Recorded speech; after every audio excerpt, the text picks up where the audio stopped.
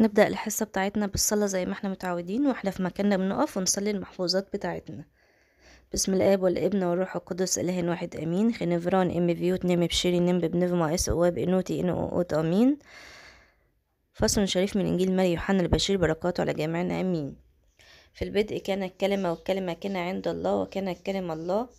هذا كان في البدء عند الله كل شيء به كان وبغيره لم يكن شيء مما كان. فيه كانت الحياة والحياة كانت نور الناس والنور يضيء في الظلم والظلمة. لم تدركه. كان إنسان مرسل من الله اسمه يوحنا. هذا جاء للشهادة ليشهد للنور لكي يؤمن الكل بواسطته. لم يكن هو النور بل يشهد للنور. كان النور الحقيقي الذي يضيء لكل إنسان آتيا إلى العالم. كان في العالم وكون العالم به ولم يعرفه العالم. إلى خاصته جاء وخاصته لم تقبله. أما كل الذين قبلوه فأعطاهم سلطان أن يصيروا أبناء أولاد الله أي المؤمنون باسمه الذين ولدوا ليس من دم ولا من مشيئة جسد ولا من مشيئة رجل بل من الله. والكلمة صار جسدا وحل بيننا ورأينا مجده مجدا كما الوحيد من الآب مملوء نعمة وحقا يوحنا شهد له وصرخ قائلا هذا هو الذي قلت عنه إن الذي يأتي بعدي سار قدامي لأنه كان قبلي ومن ملئه نحن جميعا أخذنا. ونعمة فوق النعمة لأن الناموس بموسى أعطي أما النعمة والحق في بيسوع المسيح سار والمجد لا دائما أبديا آمين. هنبدأ النهاردة الدرس الثالث من المحور التاني وهو بيتكلم عن قوة الصلاة والصوم. تمام؟ أنتوا عارفين إن آه فيتامين صاد في المسيحية هو صلاة صوم صدقة. صاد صلاة صاد صوم صاد صدقة تمام؟ يبقى ده فيتامين صاد في المسيحية إزاي ننتصر ننتصر على حروب الشيطان؟ إزاي نعبر الضيقة والألم بسلام؟ إزاي نفهم كلام ربنا؟ إزاي نقدم توبة نقية؟ إزاي نشهد لربنا في حياتنا؟ إزاي نكرس وقتنا كله لربنا؟ إزاي كل ده نعمله؟ هنعمله من خلال الصوم والصلاة وده اللي هنشوفه النهاردة في مواقف مختلفة وقصص مختلفة من الكتاب المقدس ومن تاريخ الكنيسة إزاي قدروا بالصلاة والصوم ينفذوا كل ده. تعالوا نشوف مع بعض الموقف الأولاني والموقف الأولاني هو زي ما أنتوا شايفين كده في الصورة قصة إيه؟ قصة التجربة على الجبل بتاعت بابا يسوع لما طلع الجبل بعد ما اتعمد من يوحنا المعمدان في نهر الأردن راح لبرية الأردن وقعد هناك أربعين يوم وأربعين ليلة صايم وبيصلي هل بابا يسوع محتاج صوم وصلاة؟ لا طبعا بس عشان يعلمنا إن إحنا بالصوم والصلاة نقدر ننتصر على الشيطان وقتها جه الشيطان وقعد يجرب بابا يسوع وكان بيقول له مثلا حول الحجارة دي لخبز فكان بابا يسوع بينتصر على الشيطان بالصلاة والصوم وإيه كمان؟ وكان بيرد بآيات من الكتاب المقدس. فلما قال له مثلا حول الحجارة خبز رد عليه وقال له بآية من الكتاب المقدس ليس بالخبز وحده يحيا الإنسان بل بكل كلمة تخرج من فم الله. يبقى بابا يسوع انتصر على الشيطان بالصلاة والصوم وكلمات الكتاب المقدس. تعالوا كده نقرا مع بعض جزء من صلاة الاسم في القداس بتقول إيه؟ الصوم والصلاة هما اللذان يخرجان الشياطين. إذ قال الرب يسوع أن هذا الجنس لا يخرج بشيء إلا بالصلاة والصوم. يبقى إحنا بالصلاة والصوم نقدر ننتصر على الشياطين. تمام؟ طيب تعالوا كمان نشوف موقف تاني ونتعلم منه إزاي الصوم والصلاة بيساعدونا إن إحنا نعمل حاجات تانية غير بس إن مش بس إن إحنا ننتصر على الشيطان أو نقدر نغلبهم بيها لكن كمان ممكن ننتصر بيها على التجارب والأزمات. زي في قصة مين؟ زي في قصة ملكة جميلة زي ما أنتوا شايفين في الصورة. وملكة جميلة ديت انتصرت على التجربة اللي حصلت ليها ولشعبها بالصلاة والصوم. تعالوا نشوف كده. كان في فترة من الفترات في ملك عظيم جدا اسمه الملك أحشاويروش وده كان ملك صعب شوية وكانت زوجته هي الملكة الجميلة أستير. والملكة أستير وشعبها كانوا تحت حكم الملك أحشاويرش في الوقت دوت وكان أستير ليها قريب اسمه مردخاي. وأستير بالنسبة لمردخاي بنت أخوه. تمام؟ ومردخاي ده كان خادم في القصر بتاع الملك أحشاويرش وكان في وزير شرير جدا اسمه هامان والوزير ده كان بيكره شعب إسرائيل وبيكره مردخاي. فعمل مؤامرة وعمل زي مرسوم بإنهاء آه، وقتل شعب إسرائيل. آه، ده كانت المؤامرة بتاعت هامان الوزير الشرير ده. والمؤامرة دي عرف بيها مردخاي وراح قال لأستير اتصرفي واعملي حاجة. لكن طبعا أستير ما كانتش عارفة تعمل إيه لأن الملك كان صعب جدا وما ينفعش إن أي حد يدخله كده يكلمه ولو حد دخل كده يكلمه كان ممكن يموته مادام هو ما طلبهوش.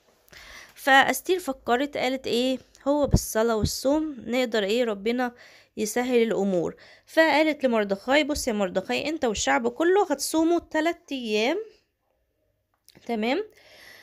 وتصلوا علشان ربنا يديني نعمة في عين الملك أحشاويرش وده اللي حصل فعلا. صامت أستير هي وشعبها ومردخاي تلات أيام. وبعدين دخلت أستير للملك. وهي عارفة طبعا إن ممكن يقتلها في الوقت ده. لكن ربنا إيه حنن قلب الملك احشاويرش عليها. ودخلت الملكة أستير. وعرف الملك بمؤامرة هامان الشرير. وطبعا كده أنقذت أستير شعبها من مؤامرة آه، هامان بالصلاة والصوم. تعالوا نقرأ الجزء ده من صلوات الاسم في القداس. الصوم والصلاة هما اللذان عمل بهما شعب إسرائيل وأنقذهم الله من الموت. يبقى بالصوم والصلاة ننتصر على الشيطان بالصوم والصلاة ننتصر على التجارب. تعالوا نشوف موقف تاني. موسى قاعد على الجبل. وعايز يفهم كلام ربنا. وصايم وبيصلي بقاله كام يوم؟ أربعين يوم. طبعا موسى صعد على جبل سينا اللي هو جبل حوريب وقعد يتكلم مع ربنا في الجبل وصايم أربعين نهار وأربعين ليلة ما أكلش لا أكل ولا شرب. ربنا اداله الوصايا العشر مكتوبة على لوحين من الحجر بأصوابع ربنا. يبقى أنا أفهم كلام ربنا إزاي؟ أفهمه بالصلاة والصوم. الصوم والصلاة هما اللذان عمل بهما موسى حتى أخذ الناموس والوصايا المكتوبة بإصبع الله. طيب نشوف موقف رابع. اللي واقف هناك دوت واحد ده أهمية الصوم والصلاة. لما فضل محبوس في بطن الحوت تلات أيام. مين دوت؟ يونان النبي. الموقف الرابع يونان النبي اللي ربنا طلب منه يروح لمدينة نينوى ويقول لهم يتوبوا ويرجعوا عن خطاياهم وإلا هيقلب المدينة ده كان أمر ربنا اليونان لكن اليونان ما قطعش للأسف وإحنا عارفين القصة إيه اللي حصل. بلعوا الحوت وفضل يصوم ويصلي في بطن الحوت كام يوم؟ تلات أيام. وبعدين ربنا استجاب لصلاة يونان وخرجه من بطن الحوت وأمر الحوت وإيه رماه البر بعد كده إيه اللي حصل؟ اللي حصل؟ إن ربنا تاني نادى يونان وقال له إيه؟ روح لشعب مدينة نينوى وقول لهم توبوا. المرة دي يونان حاضر يا رب وراح على طول. وفعلا راح ونادى شعب آه، نينوى وقال لهم يا جماعة لازم تتوبوا علشان المدينة هتتقلب. وفعلا الشعب آه، آه، نينوى كلهم من كبيرهم لصغيرهم حتى الملك نفسه قلع التاج ولبس المسوح وكلهم كلهم من الصغير للكبير حتى البيبي حتى الحيوانات كلها صامت ولبسوا مسوح وصاموا وصلوا وربنا قبل توبتهم فكانت صومهم وصلاتهم كانت سبب في إن ربنا قبل توبتهم وما قلبش المدينة وغفر لهم خطاياهم ورجع إيه عن غضبه عنهم. يبقى الصوم والصلاة هما اللذان عمل بهما أهل نينوى فرحمهم الله وغفر لهم خطاياهم ورفع غضبه عنهم. تمام؟ يبقى بالصوم والصلاة انتصر على الشيطان؟ بالصوم والصلاة أفهم كلام ربنا؟ بالصوم والصلاة أقدر انتصر على التجارب؟ بالصوم والصلاة آخد إيه غفران ربنا. تعالوا نشوف موقف خامس المرة دي. من تاريخ الكنيسة قديسة عفيفة أميرة جميلة أبوها هو الوالي مرقس والد برولوس والزعفرانة اللي للأسف لما راح لدقلديانوس قال له لازم تبخر الأوثان وإلا أنا هأذي بنتك. للأسف والوالي مرقس خاف وخضع للإمبراطور وبخر للأوثان. مين اللي زعلت منه؟ بنته الأميرة الجميلة دميانة. وقالت له إزاي بابا تعمل كده؟ لازم تتوب وترجع عن الكلام ده. وفعلا مرقس راح وقال أنا اؤمن بالسيد المسيح. وطبعا كان نصيبه الاستشهاد. طيب إيه اللي حصل بعد كده؟ إن الإمبراطور دقلديانوس كان بيحب الوالي مرقس لكن اتضايق إزاي رجع تاني وعبد المسيح.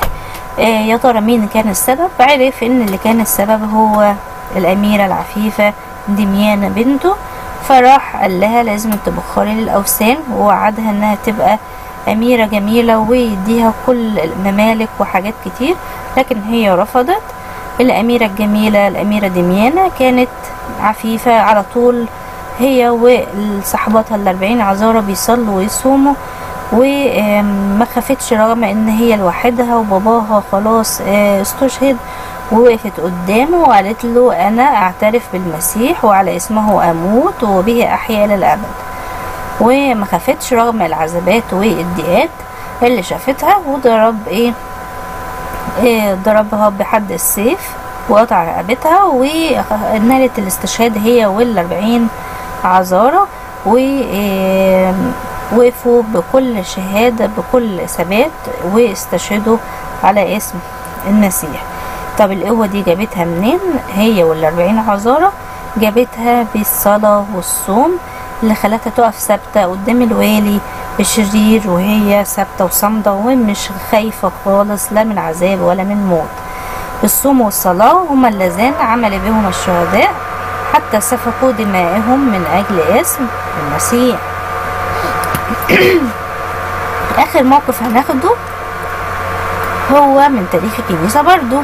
بس المرة دي من راهب جميل عجوز هو أبو الرهبان اللي هو مين؟ أنبا أنطونيوس. كان راجل غني عنده 300 فدان ورثهم من أبوه. باعهم كلهم ووزع ثمنهم على الفقراء. عاش في مغارة بسيطة على الجبل في منطقة البحر الأحمر. كان على طول بيداوم على الصلاة والصوم وقراية الكتاب المقدس. رغم إن هو كان بيصوم كتير ومتقشف جدا جدا لكن كان وشه جميل وبشوش والناس تحب تبص له. أنبأ البابا أثناسيوس كتب سيرته وكمان راح يدافع عن الإيمان والأنبأ والأنبأ أنطونيوس راح معاه كمان وساعده وكمان كان بيشوف الشهداء ويساعدهم ويقويهم ويسندهم. وبقى هو أبو الرهبان مش في مصر بس لكن في العالم كله. والناس بتحبه وتحب تعليمه وتيجي تزوره وتزور ديره وتاخد إيه بركة من كلماته وتعليمه. الصوم والصلاة هما اللذان عمل بهما الأبرار والصديقون ولبسوا الصليب وسكنوا في الجبال والبراري وشقوق الأرض من أجل عظم محبتهم في الملك المسيح. نحن أيضا فلنصوم عن كل شر بطهارة وبر ونرفع أعيننا إلى الله مصلين بقلب طاهر ونفس مستنيرة وإيمان بلا رياء ومحبة جاملة ورجاء ثابت. تمام؟ دي صلوات الاسم اللي بنسمعها دايما إيه؟ في القداس. الصوم والصلاة. يبقى إحنا قلنا فيتامين صاد بتاع المسيحية إيه؟ صاد صوم صاد صلاة صاد صدقة. تمام؟ صوم وصلاة.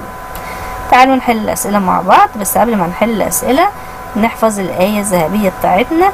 أما هذا الجنس فلا يخرج إلا بالصلاة والصوم. متى؟ إصحاح 17 آية 21 نقولها تاني مع بعض الآية. أما هذا الجنس فلا يخرج إلا بالصلاة والصوم. متى؟ إصحاح 17 آية 21 يلا نبدأ نحل مع بعض الأسئلة نجهز قلمنا والورقة والكتاب علشان نحل الأسئلة سوا.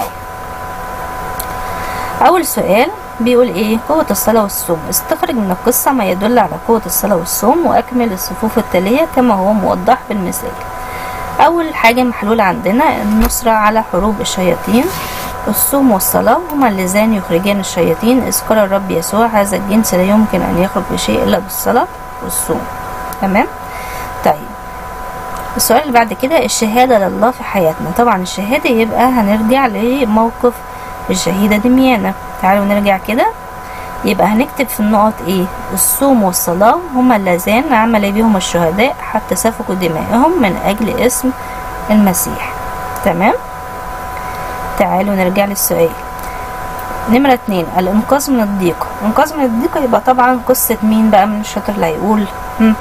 قصة أستير. يلا نرجع كده. اهي يبقى هنكتب في النقط الصوم والصلاة هما اللذان عمل بهما شعب إسرائيل وأنقذهم الله من الموت. تمام؟ نرجع للسؤال بتاعنا. تقديم التوبة نقية لله. مين بقى اللي قدم توبة نقية لله؟ طبعا شعب مين؟ نينوى. تعالوا نرجع كده للقصة. هنكتب في النقط. الصوم والصلاة هما اللذان عمل بهما أهل نينوى فرحمهم الله وغفر لهم خطاياهم ورفع غضبه عنهم. تمام؟ السؤال نمرة أربعة تكريس الوقت لله. طبعا تكريس الوقت لله زي الأنبا أنطونيوس الرهبان كلهم بيكرسوا وقتهم للصلاة والصوم. يبقى هنكتب فيها دي الصوم والصلاة هما اللذان عمل بهما الأبرار والصديقون ولبسوا الصليب وسكنوا في الجبال والبراري وشقوق الأرض من أجل عظم محبتهم في الملك المسيح. آخر واحدة. فهم كلام الله. أكيد طبعا مين اللي شال كلمة ربنا؟ هو موسى. فهنكتب في النقط الصوم والصلاة هما اللذان عمل بهما موسى حتى أخذ الناموس والوصايا المكتوبة بإصبع الله. نحل السؤال اللي بعد كده. نمرة اتنين. هناك ثلاث فضائل مرتبطة ببعضها أوصانا بها الكتاب المقدس وشرحها لنا القديس أوسطينوس هي بينا نكتشف هي دي المقولة وهنرتبها هنا حسب الأسهم. تعالوا نكتب كده. أتريد. هنا هنكتب. أتريد أن تصعد صلاتك إلى السماء. فامنحها جناحين. هما الصوم والصدقة. تمام؟ خليكم ماشيين كده معايا بالترتيب تاني هقولها. ممكن تكتبوه هنا وبعد كده تبقوا تفرطوه هنا في المربعات. تمام؟ هنكتبها هنا. أتريد أن تصعد صلاتك إلى السماء. فامنحها جناحين. هما الصوم والصدقة. تمام؟ أتريد أن تصعد صلاتك إلى السماء فامنحها جناحين هما الصوم والصدقة. الفضائل المرتبطة بيها هي طبعا اللي إحنا قلنا عليها في أول الدرس خالص هي آه فيتامين صاد المسحة اللي هي صوم صلاة صدقة. تمام؟ نحل سؤال نمرة تلاتة. افتح كتابك المقدس من إنجيل متى الإصحاح السادس ووصل من ألف ما يناسبه من الصف ب ج د ه و. طبعا إحنا شاطرين هنفتح كتاب المقدس مع بعض. يلا بينا. اللي معاه ابلكيشن أو اللي معاه كتاب مقدس ورقي نفتح مع بعض كده إنجيل متى.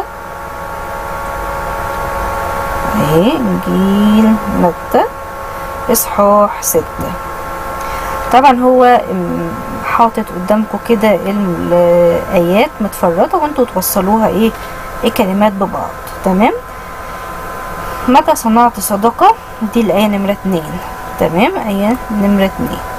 متى صنعت صدقة؟ فلا تصوت قدامك بالبوق كما يفعل المراؤون في المجامع وفي الأزقة. لكي يمجدوا من الناس الحق أقول لكم إنهم قد استوفوا أجرهم. تمام؟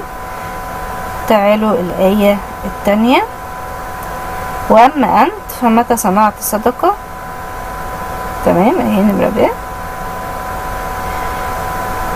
فلا تعرف شمالك ما تفعله يمينك. دي آية نمرة ثلاثة في إنجيل متى. تمام؟ لكي تقوم صدقتك في الخفاء فأبوك الذي يرى في الخفاء يجازيك علنيا. دي آية نمرة, نمرة أربعة في إنجيل متى ماشي؟ طيب نيجي للصلاة. ومتى صليت؟ تمام؟ فلا تكن كالمرائين فإنهم يحبوا أن يصلوا قائمين في المجامع. وفي زوايا الشوارع لكي يظهروا للناس الحق أقول لكم إنهم استوفوا أجرهم. دي آية نمرة خمسة. تمام؟ أما أنت فمتى صليت فادخل مخدعك واغلق بابك وصل لأبيك الذي في الخفاء فأبوك الذي يرى في الخفاء يجازيك علانية تمام؟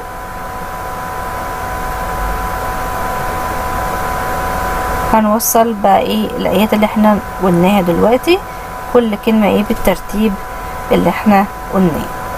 تعالوا نحل ال- الآية تحت هي أصلا نفسهم اللي هتوصلوهم فوق تمام؟ عشان تبقى سهلة عليكم. هقولهم تاني برضه عشان إيه ما تتلخبطوش.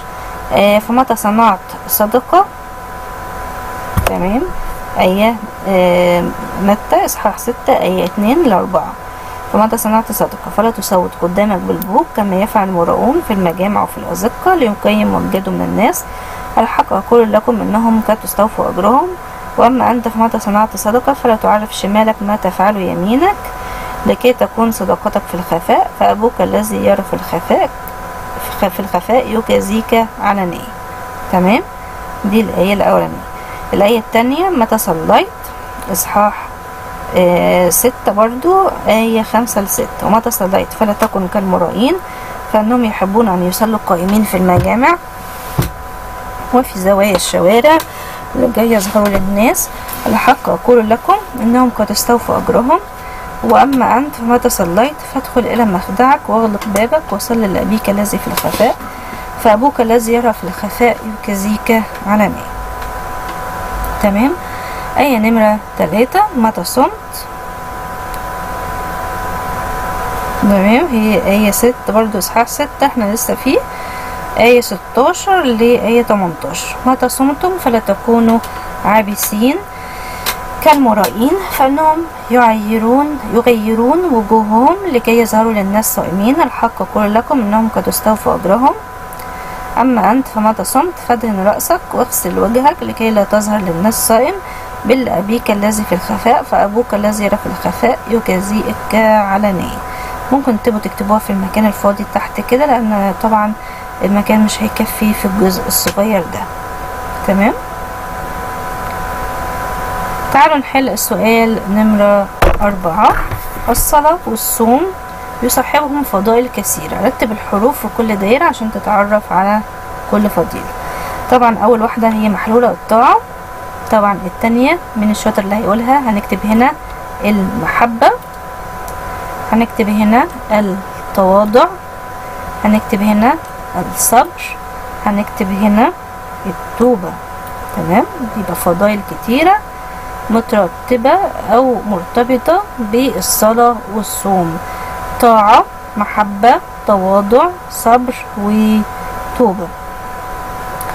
هنكتبهم هنا تاني. الفضائل تصاحب الصلاة والصوم طاعة محبة تواضع صبر وتوبة.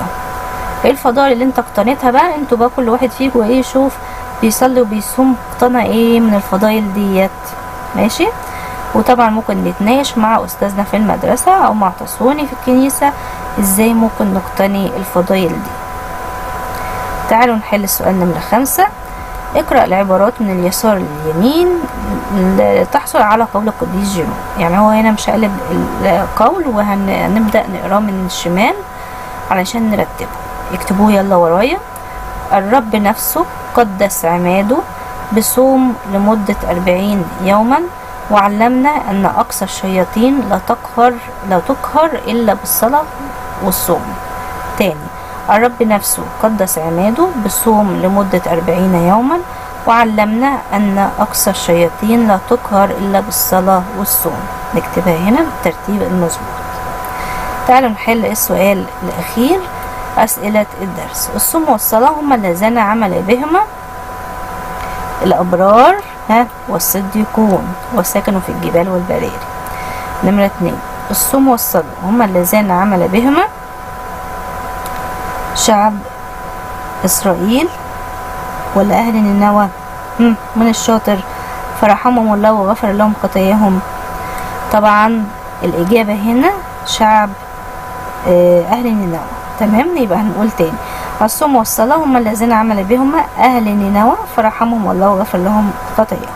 نمرة ثلاثة والصوم والصلاة هم الذين عمل بهم شعب إسرائيل وأنقذهم الله من الموت. نمرة أربعة والصلاة هم الذين عمل بهما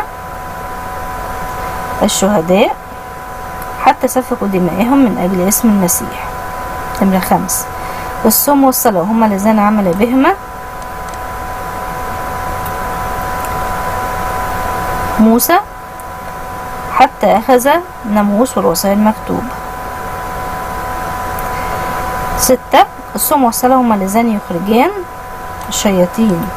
كما قال الرب يسوع الصوم والصلاة يرتبطان بفضيلة مثلا المحبة أو الطاعة أو التواضع أو الصبر أو التوبة. الصوم والصلاة كمان مرتبطين بفضيلة مهمة اللي إحنا اتفقنا عليها اللي هي الصدقة. ماشي؟ بقى تحبوا تكتبوا اللي أنتوا عايزينه بس أنا أفضل طبعا إن الصوم والصلاة والصدقة مرتبطين ببعض. تمام؟ فمتى صمت فدهن رأسك واغسل وجهك لكي لا تظهر للناس صائما. إن أكثر الشياطين لا تقهر إلا بالصلاة والصوم. تمام؟ فلنصم عن كل شر بطهارة وبر وننمو في معرفة الرب وننال حياة أبدية. كده إحنا خلصنا الأسئلة. كونوا عارفين في الرب وجاي خانة بيت شويس.